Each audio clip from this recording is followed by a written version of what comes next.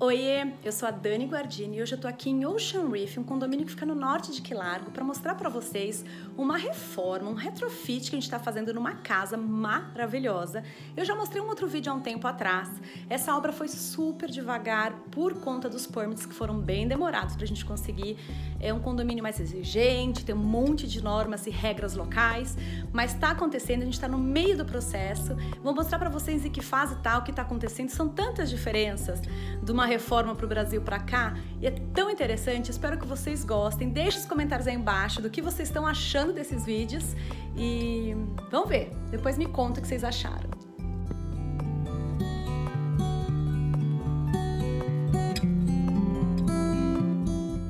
Vou começar o vídeo aqui pela fachada. A gente já fez a troca do telhado. Eu vou procurar, eu tenho vídeos do, dessa troca do telhado. Então eu vou ver se eu consigo encontrar nos meus vídeos e vou colocar aqui para vocês verem. Subir para ver a troca, como era o telhado antigo, enfim, todo. Olha só, subir aqui na escadinha, só para ver de pertinho. Aqui onde já colocaram o isolante, esse aqui é um isolante tanto para waterproof, para água, né, quanto térmico, é um isolante térmico também. É um dos sistemas mais modernos que tem eles estão aplicando sobre a madeira. Eles tiraram todo uh, o revestimento antigo que tinha, que era esse preto. Aí estão limpando bem a madeira para poder aplicar eles a Olha só. Subi aqui para ver o telhado aqui de cima. Então vamos lá. Aqui, olha como é diferente do que a gente está acostumado no Brasil. A casa toda é coberta com esses painéis de madeira. Então estamos tirando a proteção que existia antes, que é um bem antigo, esse preto é bem antigo, então estamos tirando tudo, descascando tudo. Ali já está com a parte nova. Esse aqui foi fornecido pela própria empresa onde a gente comprou a telha metálica. E é o mais moderno que tem hoje em dia, ó. Aqui é como estava antes a telha, tá vendo? Era uma telha bem... Fica, acaba ficando com uma cara mais antiga mesmo. Cobertura é uma cobertura autoadesiva. Olha que inteligente que é. Sem ser pregada, ela vai ser colada sobre essa madeira. Olha que legal.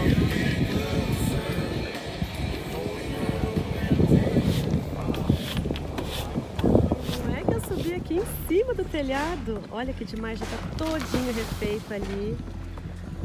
Uau! Que vista, meu Deus do céu! Valeu a pena. Tô com medo, juro, mas é lindo. Olha só. E o pessoal aí trabalhando. Toda a telha onde era a telha antiga, eles estão removendo tudo. Aqui é o entulho que depois vai ser retirado. E aqui onde essa parte é reta também vai ser feita uma nova cobertura flat. E ali vem também esse mesmo impermeabilizante que está aqui agora. E a telha metálica, que é uma telha mais moderna. Aqui em cima do telhado hoje de novo, com esse visual deslumbrante. Demais trabalhar assim, fala a verdade? Vou mostrar pra vocês, ó. Aqui já tá feita toda a impermeabilização, tudo prontinho. E aqui a gente já tá colocando as telhas metálicas. Ali é onde fica a parte flat,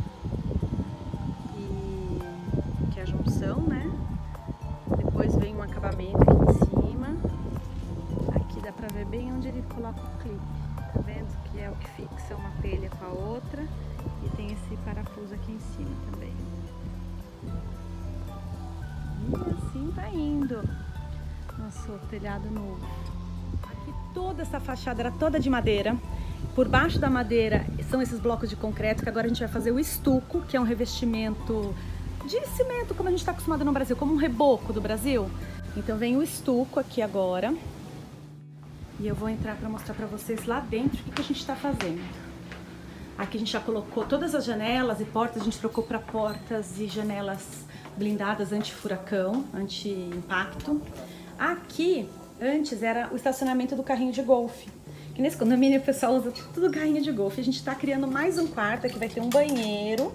Aqui eles já aterraram, é, vai vir o concreto, eles vão concretar no começo da semana que vem. Eles estão fazendo a caixaria de estrutura todo esse beiral de telhado aqui vai sair, aqui então vai ficar uma suíte extra. Tá vendo a ferragem no piso? Tá tudo preparado. Pra cá, essa casa não tinha lavabo, então a gente tá abriu uma porta que vai fazer um lavabo aqui, que dividiu a o espaço que antes era, aqui vem uma parede, aqui vai concretar também para subir um pouquinho o piso para nivelar. E aqui vem uma parede, então o lavabo vira para cá, e ali a entrada pela suíte master para o banheiro master, que ele era bem grande, então agora ele vai dividir um pedacinho com o lavabo. Aqui vai ter uma parede, vai ter um walk-in closet, que vai entrar tanto pelo quarto quanto pelo banheiro. Ali atrás é um jardim, ali a gente ainda vai fechar que é o box. Olha como é a estrutura da parede por trás. Tão diferente aqui a gente vai trocar também a parte hidráulica, vai fazer monocomando. Aqui vem uma, uma paredinha fechada, onde vai ser o reservado do, do toalete. Vamos pôr luminárias novas. Aqui também vamos trocar todas essas luminárias antigas, colocar luminárias novas. Vou mostrar pra cá onde é a suíte master, o quarto master, né, que é o banheiro master. A gente já trocou as janelas, todas agora são anti-impacto. Então, quando vem furacão e tempestade, não precisa mais colocar os shutters que antes eram aqueles metálicos. Tinha que fechar, a casa ficava toda no escuro. Aqui, então, é suíte master, o quarto master. Aqui vem uma porta de correr que vai pro, pro, pro walk-in closet. E, então aqui vem uma parede ainda, tá? Então a porta de correr, porque para instalar a porta tem que abrir o vão todo, depois fecha o drywall e vai ficar só o vão da porta ali. E pra cá a gente vem pro living, que a gente já trocou essa porta também para anti-impacto. Então agora toda essa porta aqui é preparada. Ela é uma portona bem grande, olha só. E ela abre inteira, esse vão fica inteirinho aberto. Olha o visual que tem esse lugar, que coisa mais linda. Falo que eu venho trabalhar aqui feliz da vida. Amo. Lugar maravilhoso, né? Aqui a gente vai trocar as telinhas, aquela telinha igual tem ali na piscina. Essa da piscina já era nova, porque depois do último furacão foi trocada, então aqui a gente vai manter. E essa daqui que não precisou ser trocada antes, a gente está colocando nova agora. Aqui antes era tudo madeira, a gente tirou tudo porque a gente vai fazer o estuco. Ali também, ó, ali é a porta do, da suíte master. Os pilares a gente ainda vai revestir, mas a gente, a hora que tirou, é a reforma, né? A hora que a gente tirou o, o acabamento de madeira, ele estava bem enferrujado, então a gente vai ter que substituir os pilares pra, por conta da ferrugem. Aqui é a parte de churrasqueira, aqui também vem o estuco, ali continua, precisa ser feito um reforço, olha só o reforço metálico que a gente precisou fazer para segurar as portas é, anti-impacto, para entrar dentro das normas, né? Ali onde tem uma janela que a gente também precisou fazer uma estrutura extra de estrutura metálica. Aqui é onde é a parte da cozinha, ela tem uma estrutura de madeira bem bruta, bem linda, eu gosto dessa mistura, bem bonita. Então aqui é onde vem as janelas novas também, anti-impacto. A gente está agora fazendo a parte de estrutura, é, de reforço estrutural, né? E pra cá tem mais duas suítes. Vou mostrar pra vocês. Aqui a gente já trocou as janelas para anti-furacão, anti-impacto. Antes aqui era uma, era uma fechado e tinha uma portinha de abrir normal. Então a gente abria, ficou, olha que visual lindo que ficou esse quarto. Aliás, a, o, o, forro dele é lindo, tem uma iluminaçãozinha ali, fica super bonito aqui à noite acesa. Precisamos fazer as colunas de reforço estrutural para poder ela realmente ser anti-impacto, né? Para cá, a gente tem um dos banheiros, então aqui vem bancada nova. Antes era uma bancada de uma pedra feia, bem baixinha, então a gente vai para uma bancada branca, bonita, um revestimento novo aqui dentro do box. Vai colocar o nicho que eu já comprei, aqueles nichos Colocamos monocomando, vai trocar ralo, revestimento aqui. Olha que como é interessante, tudo é madeira por trás, depois vem o drywall. Aí eles fazem aquela super impermeabilização. Vou ver se eu volto aqui. Eu venho toda semana, né? Quem acompanha no Stories, no Instagram, acaba vendo mais. Mas eu vou ver se eu faço mais um vídeo na hora que tiver no finalzinho com a impermeabilização. Pra cá é o outra suíte. Então ali também está sendo feito o reforço estrutural agora, para poder colocar a janela anti-impacto, porque precisa fazer um reforço com estrutura metálica, olha só. Tá vendo? Então foi um reforço extra para poder estruturar. E aqui é a mesma coisa, aqui era também uma portinha fechada e a gente abriu tudo vidro anti-impacto. Olha que delícia que ficou esses corners assim de janela, de vidro, né? Aqui é o outro banheiro. Então era uma casa que tinha três suítes, agora vai ter quatro suítes e um lavabo.